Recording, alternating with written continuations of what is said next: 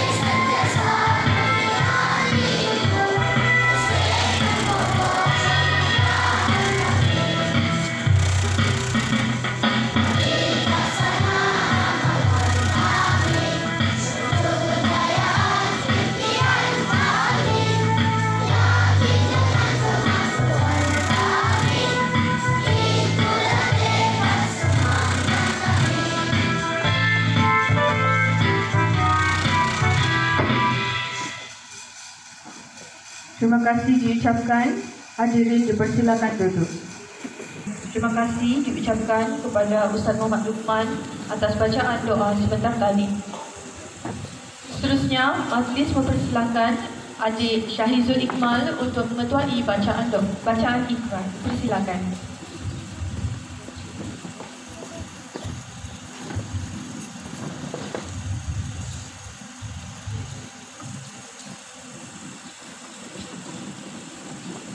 Up.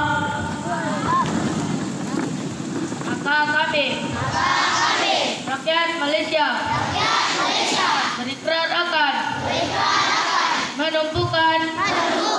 Seluruh tenaga.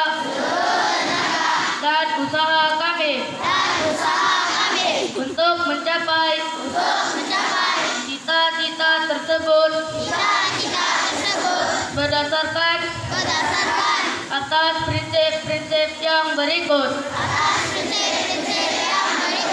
Kepercayaan kepada Tuhan. Kesetiaan kepada raja dan negara. Keluhuran perlembagaan. Kedaulatan undang-undang. Kesopanan dan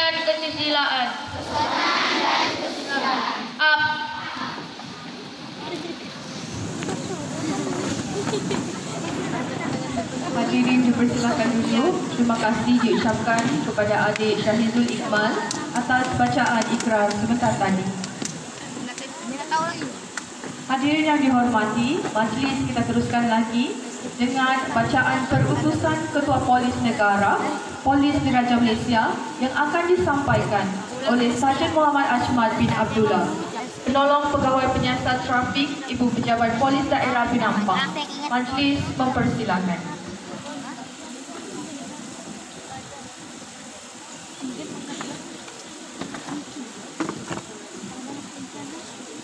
Terima kasih uh, Pengurusi Menteri Yang Besar Puan Peneliti Najila Bimbing Barisan Guru Penolong Kanan Yang Encik Engineer Encik Semester Tolong Pasai Balan yang APG Encik Jaslin Urai Ahli Jawatan Kuasa PIBG Murid-murid yang dikasih sekalian.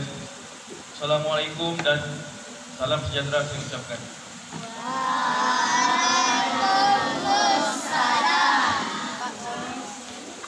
Terlebih dahulu ingin saya merakamkan ribuan terima kasih kepada semua yang hadir pada pagi ini dalam menjayakan program Jobs ke Sekolah pagi tahun 2020. Warga sekolah yang dihormati, sebagaimana yang kita ketahui hari ini, telah dipilih sebagai hari pelajaran program Jom ke Sekolah di seluruh Malaysia. Saya selaku Pegawai Perhubungan Sekolah SK Tombobo akan membacakan perutusan yang dihormati Ketua Polis Negara Tan Sri Datuk Sri Abdul Hamid bin Badul. Bismillahirrahmanirrahim. Assalamualaikum warahmatullahi wabarakatuh dan salam sejahtera. Alhamdulillah segala puji dan syukur dipanjatkan kehadrat Allah Subhanahu wa taala kerana dengan izin dan inayahnya juga program Jom ke Sekolah peringkat kebangsaan dapat direalisasikan lagi pada tahun ini. Polis Diraja Malaysia amat menghargai dan berbesar hati kerana diberi kepercayaan untuk terus berkolaboratif dengan Kementerian Pendidikan Malaysia bagi menangani masalah disiplin serta salah laku murid melalui peranan pegawai perhubungan sekolah. Inisiatif yang dilaksanakan sejak tahun 1974 ini sentiasa ditambah baik mengikut keadaan dan keperluan semasa serta amat relevan dan signifikan dalam proses pembentukan sasiah serta jati diri insan di peringkat awal persekolahan lagi. PDRM amat prihatin tentang permasalahan sosial dan salah laku jenayah dalam kalangan generasi muda, khususnya murid-murid sekolah. Dalam hal ini, kerjasama yang bersusun dan bersistematik di antara pihak sekolah, ibu bapa dan PDRM dilihat mampu membendung isu salah laku sosial dada dan perlakuan jenayah daripada terus menular. DPS yang dilantik bagi setiap sekolah perlu mewujudkan suasana sekolah yang aman dan selamat dengan membuat rondaan, lawatan, ceramah atau sesi dialog berkaitan hal-hal keselamatan kepada warga sekolah. PPS juga hendaklah sentiasa bekerjasama dengan persatuan ibu bapa dan guru serta memberikan hikmat nasihat kepada pihak sekolah berhubung dengan tindakan yang wajar diambil sekiranya berlaku sebarang kejadian jenayah yang melibatkan para pelajar. Selain itu, PPS turut bertanggungjawab untuk memberikan pendedahan dan kesedaran tentang undang-undang kepada guru-guru, murid-murid dan ibu bapa. Mekanisme ini yakin dapat melahirkan komuniti sekolah yang teliti undang-undang dan mempunyai pengetahuan tentang langkah-langkah pencegahan jenayah bagi mengekang kes-kes salah laku dalam kalangan pelajar. Malah melengkapkan diri untuk pengetahuan juga akan memudahkan PPS untuk berkongsi pengetahuan dengan para guru, murid-murid, ibu bapa mengenai cara-cara membantu mangsa yang mengalami trauma atau impak akibat sesuatu perlakuan jenayah. Yang telah berpadu usaha dan tenaga dalam menerbitkan PBS ini. Saya merakamkan setinggi-tinggi penghargaan dan ucapan tahniah.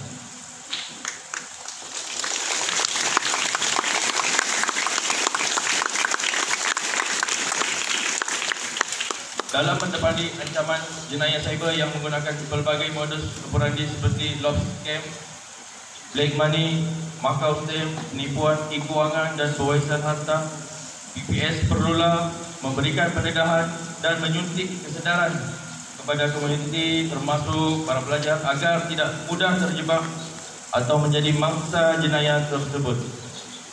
Selain itu, kita juga perlu mengekang penularan ideologi atau dakwah ajaran sesat, radikalisme, ekstremisme dan terorisme dari menyerang masuk ke dalam sekolah.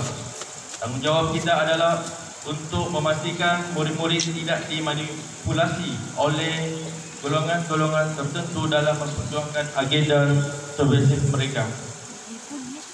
Dalam masa yang sama, saya berharap agar komuniti sekolah dan pihak yang berkaitan dapat bekerjasama untuk terus membimbing generasi muda agar mereka tidak mudah terpesong dan sebaliknya menjadi modal insan yang cemerlang dan disayang tinggi. Saya difahamkan bahawa TPM, PDRM dan Persatuan Perkhidmatan Perguruan Kebangsaan telah menerbitkan buku panduan pegawai perhubungan sekolah sebagai garis panduan kepada PPS dan semua pihak yang berkaitan dalam melaksanakan program atau aktiviti yang telah ditetapkan. Buku ini akan dilancarkan semasa sambutan program Jom ke Sekolah Peringkat Kebangsaan tahun 2020 yang akan diadakan di Sekolah Menengah Kebangsaan Sulaiman Bentong Pahang pada 17 Februari 2020. Adalah diharapkan dengan wujudnya buku ini dapat memberi pemahaman dan pengetahuan yang komprehensif kepada PPS serta seluruh warga sekolah agar dapat bertindak secara holistik dalam menangani masalah disiplin dan salah laku jenayah dalam kalangan pelajar. Pada semua ahli jawatan-jawatan kerja, akhir kalam, setinggi-tinggi penghargaan dan ucapan terima kasih kepada KPM, para pengetua, guru-guru, ibu bapa dan kerjasama pada setiap program atau aktiviti yang dijalankan oleh PDRM. Ibarat terendam sama basah, terampai sama kering, diharapkan kerjasama dan kesepakatan yang wujud antara KPM, ibu bapa dan dengan PDRM akan terus dierat kukuhkan lagi demi memastikan usaha yang kita lakukan selama ini tidak sia-sia insya-Allah. Sekian, terima kasih.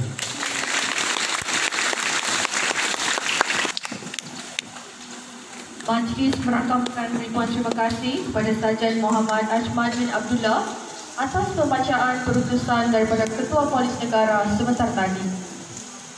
Seterusnya dipersilakan Puan Guru Besar untuk menyampaikan ucapan dan seterusnya membaca perutusan Ketua Pengarah Pendidikan Kementerian Pendidikan Malaysia. Dipersilakan.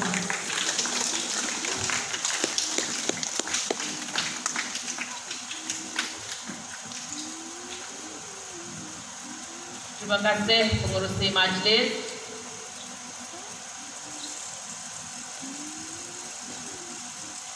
Yang dihormati Sarjan Muhammad Ajmad bin Abdullah, pegawai perhubungan sekolah SK Kebobo, penolong pegawai penyiasat trafik Ibu Pejabat Polis Daerah Nampang, Kopral Sabtu kurang.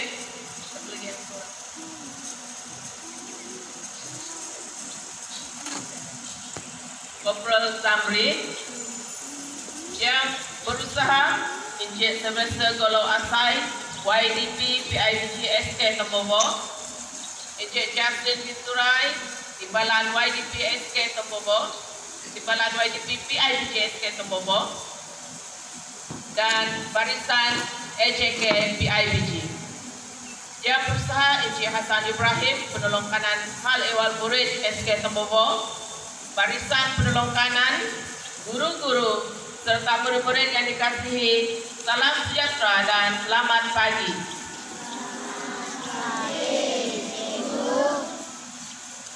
Sebelum guru besar uh, membaca teks ucapan alu-aluan daripada Timbalan Menteri Pendidikan, terlebih dahulu saya ingin uh,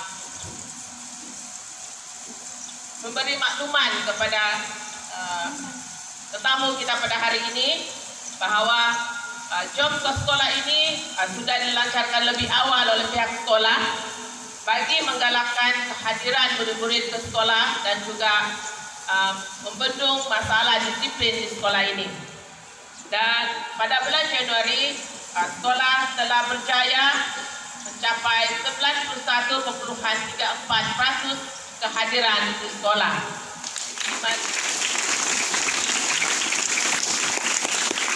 Yang mana pihak sekolah perlu usahakan lagi bersama dengan ibu bapa untuk mencapai KPI 95%. Dan untuk uh, mencapai KPI ini, uh, pihak sekolah bersama dengan PIBG telah bersetuju untuk melaksanakan program Zoom In di mana program ini ditaja oleh PIBG SK Kembobo di mana memberi penghargaan kepada individu dan kelas uh, di sekolah ini. Dan harapan guru besar semua murid dengar ya hari ini kita uh, kehadiran kamu adalah amat apa ni wajib ke sekolah dan sekiranya uh, sakit baru kita terima sekiranya ada surat doktor ataupun surat dari ibu bapa. Dan makluman juga untuk um, tetamu kita pada hari ini. Disiplin murid SK Tembogo masih lagi terkawal. Ya masih lagi terkawal. Tahniah kepada EJK uh, disiplin SK Tembogo yang telah berusaha untuk mencari strategi kaedah teknik supaya murid kita ini tidaklah tersasar pada disiplin yang berbentuk jenayah.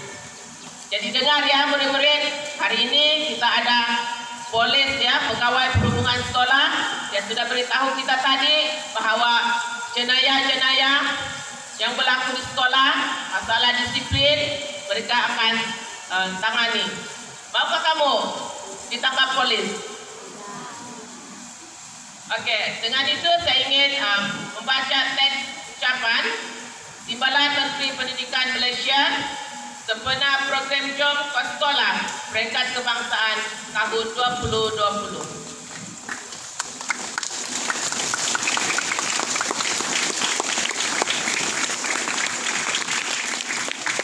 Syukur dipanjatkan kepada Tuhan kerana mengizinkan kita untuk menjalin silaturahim dan menyulam ukhuwah menyulam ukhuwah sempena majlis pemufakatan Kementerian Pendidikan Malaysia dengan Polis Diraja Malaysia dalam program Jom ke Sekolah Peringkat Kebangsaan tahun 2020.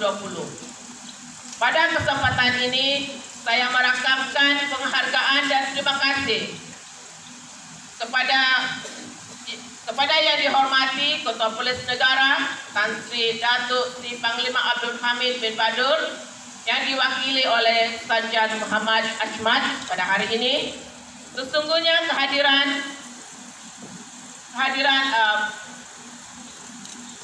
Sarjan Cik Ahmad ya yang bersama kita pada hari ini membuktikan kesungguhan dan semangat pemufakatan yang tinggi dalam usaha membangunkan sekolah sebagai institusi yang selamat dan aman.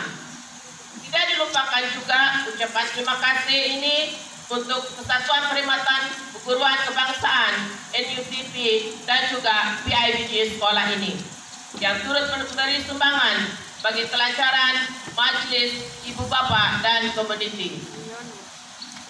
Kesepakatan, komitmen dan kesungguhan semua pihak sama ada di pihak Kementerian Pendidikan Malaysia, Polis Diraja Malaysia dan NUTP, ibu bapa dan komuniti yang terlibat secara langsung dan tidak langsung bagi menjayakan program jom ke sekolah ini akan menghasilkan impak yang besar kepada sistem pendidikan di Malaysia. Bagi tujuan tersebut, IPM amat berbesar hati dengan kerjasama berterusan oleh PDRM melalui kehadiran pegawai perhubungan sekolah di, di semua sekolah IPM. Terima kasih atas segala sumbangan dan komitmen yang diberikan bagi satu tumpukan yang gemuruh kepada PDRM.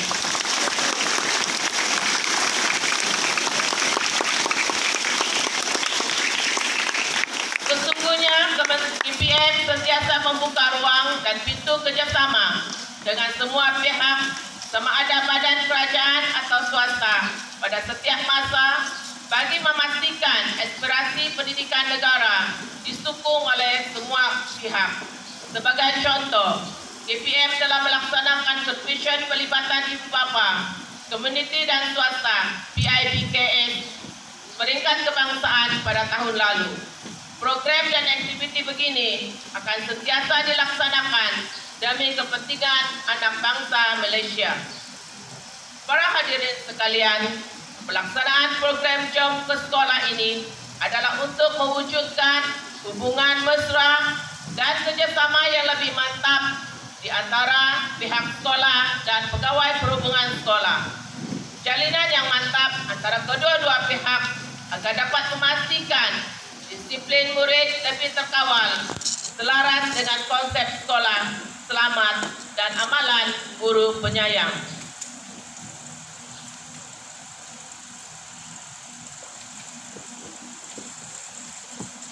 Yang amat berhormat Perdana Menteri Malaysia berangkap pemangku Menteri Pendidikan menyatakan hasrat beliau agar tidak agar kita memiliki nilai hidup yang baik untuk berjaya dalam kehidupan. Sebaliknya, jika nilai hidup yang kita amalkan tidak baik, maka akan gagallah kita dalam menangani cabaran-cabaran dalam kehidupan. Hasrat beliau ini disampaikan semasa Majlis Amanat dan Aspirasi bersama warga PPM pada 6 Februari 2020 yang lalu. Oleh demikian adalah perlu agar semua murid didik untuk mengamalkan nilai hidup yang baik sejak di peringkat rendah lagi. Nilai hidup yang baik dijadikan amalan seharian dalam membentuk budaya mulia dalam kehidupan. Ingat ya murid-murid, ini kita guru besar selalu tekankan budaya mulia dalam kehidupan. Ya. Oke, saya sambung lagi. Sesungguhnya bagi mencapai hasrat tersebut, kerjasama antara KPM dan PDRM melalui pegawai perhubungan sekolah sentiasa diperkasakan untuk menjadikan sekolah sebagai kawasan selamat dan ceria kepada semua murid.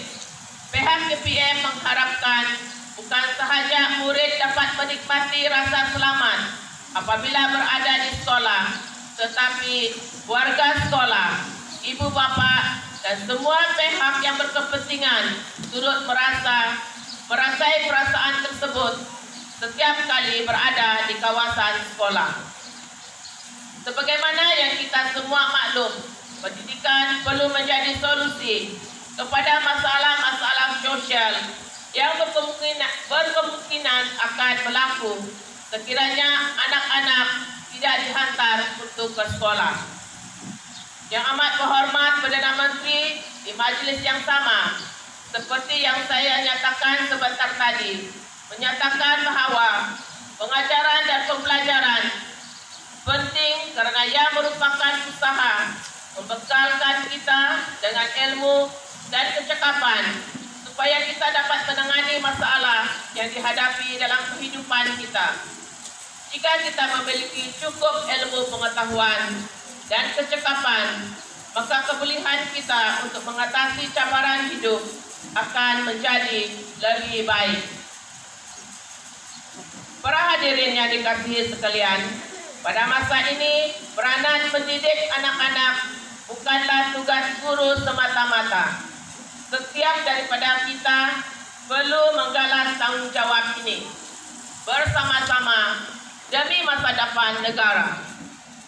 Kementerian Pendidikan Malaysia berharap kita semua dapat memperkukuh kerjasama dalam menyediakan pendidikan berkualiti kepada anak-anak bangsa demi masa depan yang lebih gemilang. Hubungan dengan itu, sekali lagi saya menyuruh agar semua pihak memberi sokongan padu kepada Kementerian Pendidikan Malaysia dalam mengendalikan program atau aktiviti pendidikan di, di pelbagai peringkat termasuklah peringkat kebangsaan dan antarabangsa.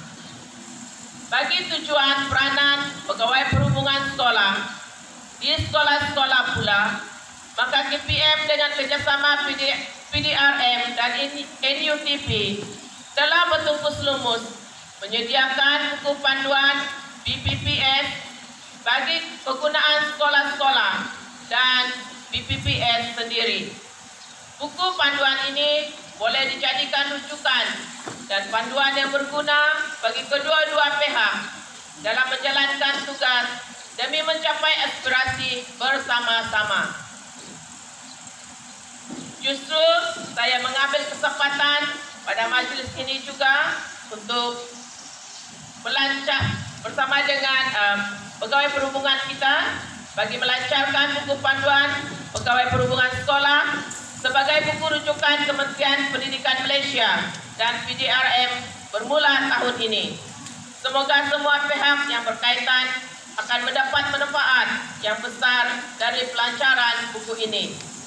Akhir kata, saya sekali lagi merakamkan ucapan, ucapan terima kasih dan penghargaan kepada semua pihak yang ber, yang menjayakan majlis pada kali ini.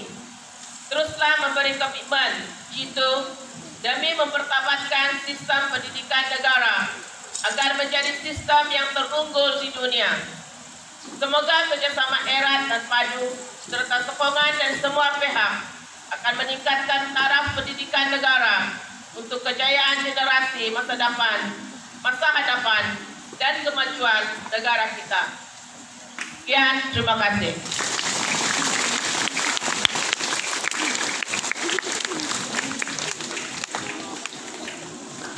Terima kasih diucapkan kepada Puan Guru Besar Puan Venancy Angela Suimin atas ucapan dan bacaan perutusan sebentar tadi.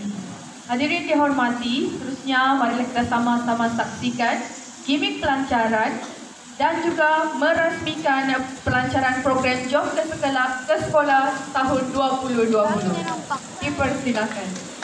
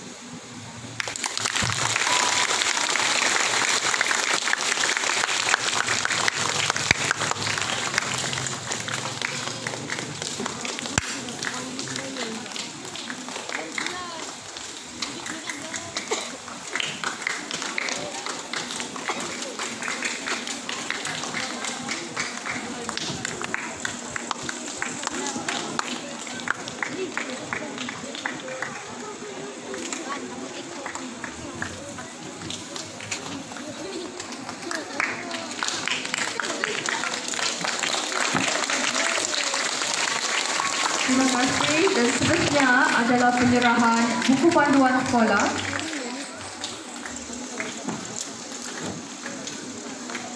Maafkan saya, buku panduan pegawai perhubungan sekolah yang akan diserahkan oleh Sarjan Ashman kepada pihak sekolah.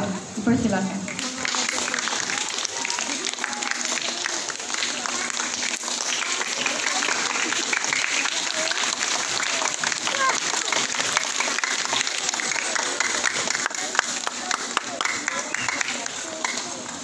Kasih diucapkan sekali lagi kepada Sarjan Muhammad Ashman bin Abdullah atas perasmian pelancaran program dan juga penyerahan buku panduan sebentar tadi. Seterusnya, uh, kita mengambil kesempatan ini untuk mengumumkan kehadiran terbaik ke sekolah bagi bulan Januari tahun 2020.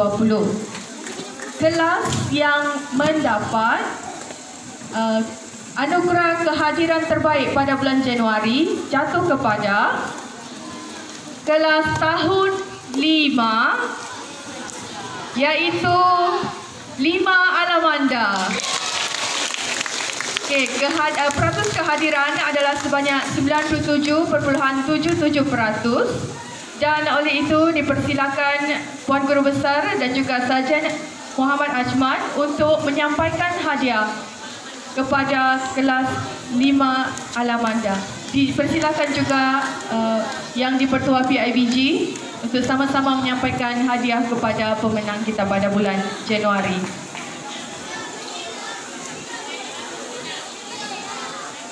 Dipersilakan Ketua Kelas 5 Alamanda untuk naik menerima hadiah. Berikan tepukan yang gemuruh.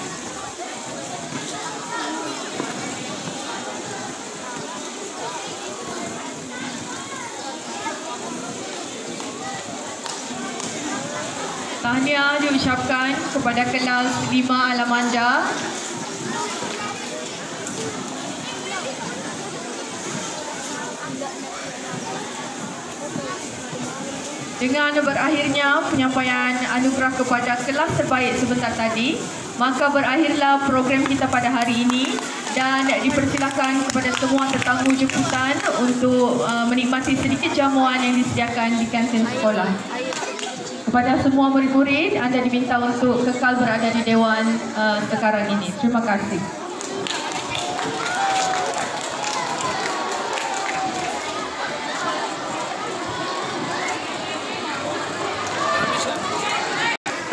Halo. Okey semua berdiri tengah. Eh duduk tengah. Siapa?